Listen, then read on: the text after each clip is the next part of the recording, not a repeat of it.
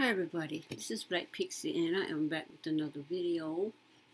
I did a video on this one and it showed a um, little short clip, a little short um, news clip of um, journalists questioning um, people at the school about it. And for the most part they just, oh well, shouldn't bring gun to school because y'all agree you shouldn't bring guns to school.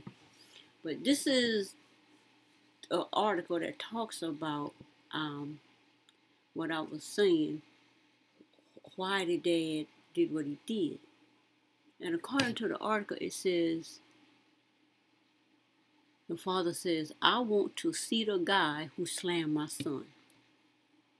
And it says, Florida father got an unexpected FaceTime call from his son on Monday prompting an angered reaction that left him facing charges.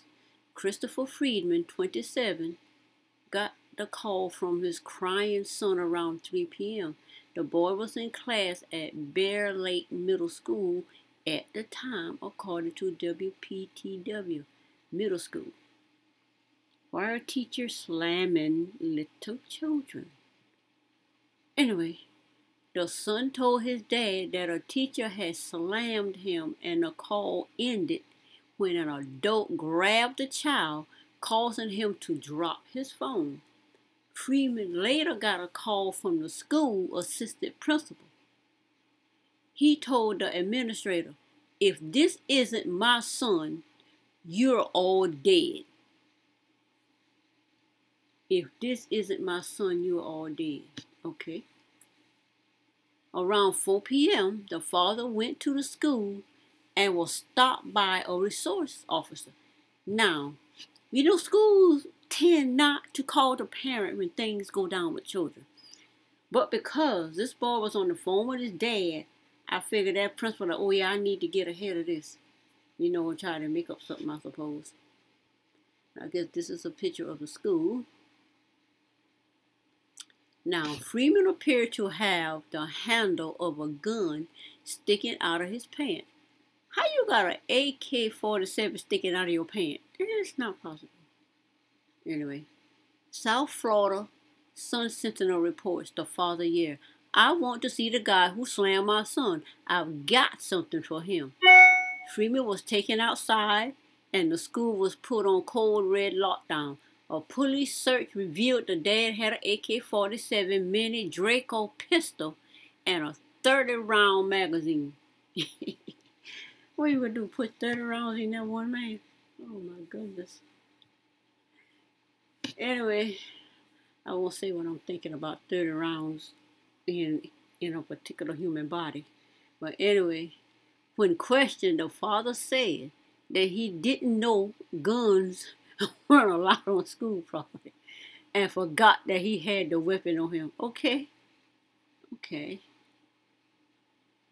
Freeman said he never intended to actually hurt anyone with the AK 47. He was arrested and charged with disrupting a school function. The, disrupt, the disruption was when the teacher slammed the child and then grabbed the child while he was talking to his dad crying. That's disruption. Anyway. He was arrested and charged with disrupting a school function, possession of firearm on school ground, and aggravated assault with a weapon. So who did he actually assault? But what I understand, he didn't get to assault anybody because when he got there, he said he wanted to see the child, and they saw the butt sticking out. So who did he assault now? Anyway, you know they got to add these extra charges. Oh God! So if you drop some charges, we still get some money. Well, I will drop this one, but we still got some money anyway. He was arrested and charged with disrupting. Okay, I read that already. The father currently being held on seventy-five thousand dollar bond. It's unclear if the school investigated Freeman's claims that a teacher slammed his son. They know the teacher slammed the son. They know the teacher slammed the son. The fact that he just come on the school ground and say, I want to see the teacher that slammed my son. The fact that the principal called the man, he already knew something was up. Because when that man slammed that child, I'm pretty sure that teacher probably went and tried to get his tail covered because the dad saw him snatch his child up on FaceTime. So, you know how it is. They, they, they demand that your kids go to school and then they attack and put these kids in danger. When you try to take care of them, then you go to jail for protecting your child. And While they get um, protected for attacking your child. Well, anyway, I said I was going to come back with the article that spoke about what happened. But my thing is, you can't just keep attacking and slamming children and then putting parents in jail for just disciplining their own children or things accidentally happen to children. Parent, parents go to jail. But you got willful, intentional teachers that just slam children, slam little girls. These little bodies just get slammed to the floor like a man. And nothing is done about it. It's just overlooked. Yes. Is that what they call that um penal system? It's designed it's designed that way. To criminalize black bodies even when they are defending themselves. But nobody is gonna sit there and just watch you attack the child. Like I say, nothing may happen to him because you know he's not allowed to come to school with an AK-47 and threaten people. I don't think this particular teacher will be slamming another child. But this is what I think. I think people should help get this guy out of jail.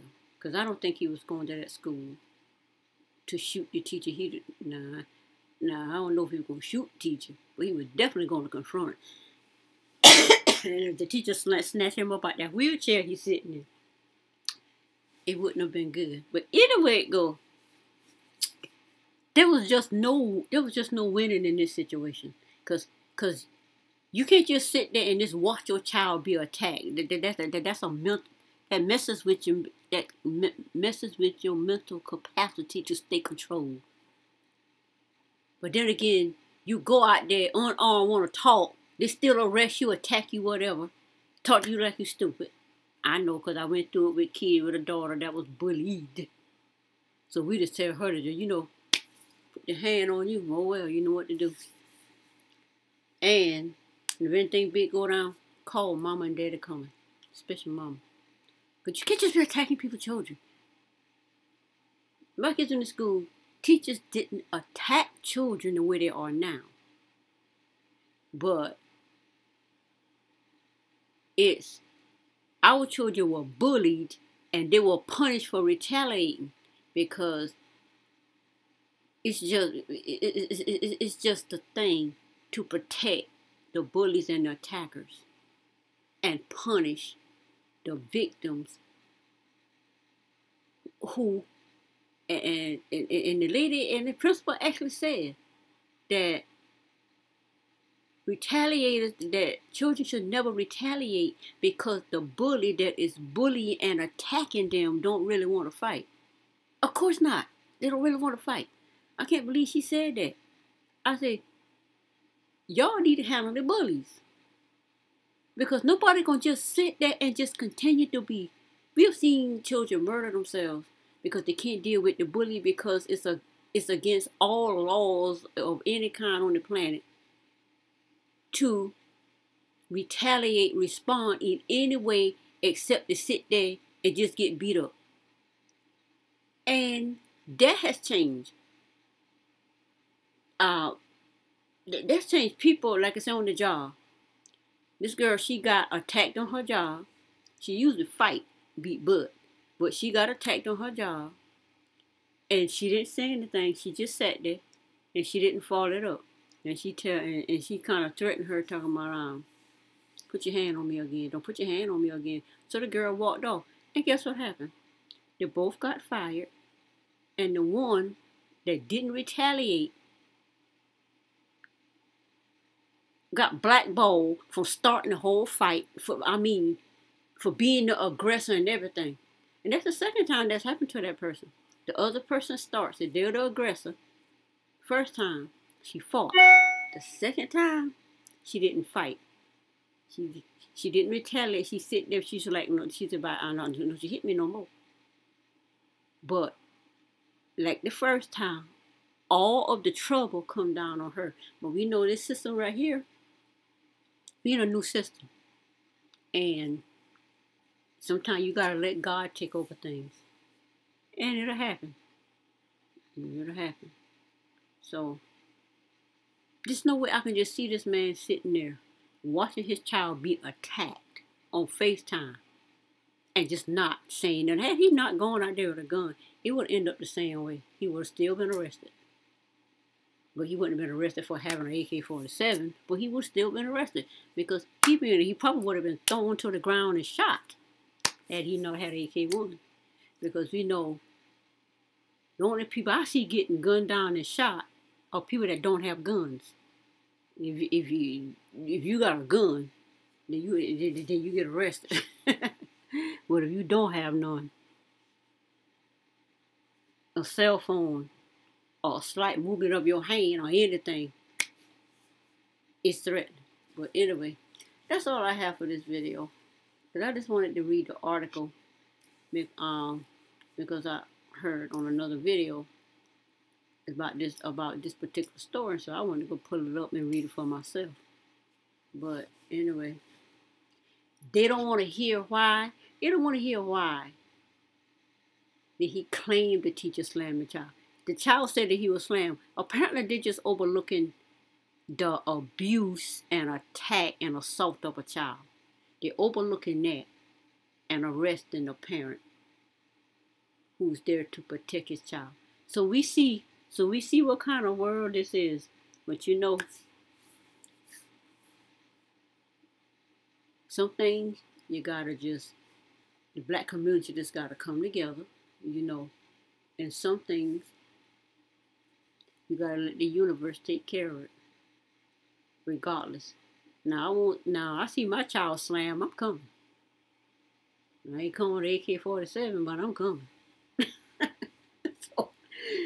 So you just know how you're going to handle everything. Just know there's consequences for everything and there's no justice for anything. Okay, that's it for this video. And I will be back with another video. Bye.